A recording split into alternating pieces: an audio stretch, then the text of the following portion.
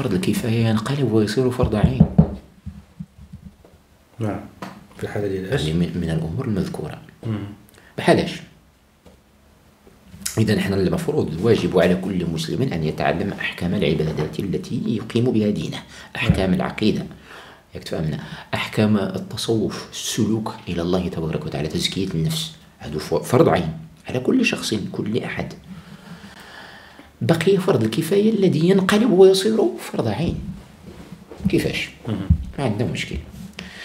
فرض الكفاية الذي ينقلب فرض عين هو من تولج في شيء معين يجب عليه تعلم أحكامه. نعم. بحالاش شخص سيبيع ويشتري. فرض كفاية عليه أن يتعلم أحكام البيع والشراء. الفلاح فرض عين عليه أن يتعلم أحكام المساقات المزارعة الإجارة إلى آخره. مثلا الأستاذ المعلم للصبيان. فرض عين عليه أن يتعلم الأحكام التي يتعامل بها مع الصبيان.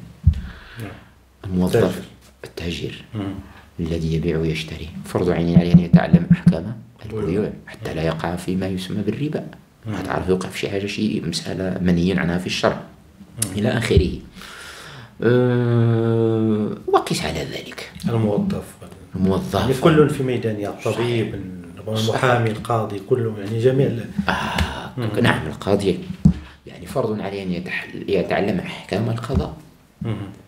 إلى آخره. المهم حنا باتنا يعني أن كل صاحب تخصص إذا تخصص في شيء ينقلب فرض الكفاية في حقه فرض عينه. نعم. يضبط إذا ضبط عم- عمله مهنته يعني بالشرع. على وفق الشريعة. مم. إذا باع وشرى على وفق الشريعة. مفهوم؟ مثلا إذا باع واشترى على وفق الشريعة.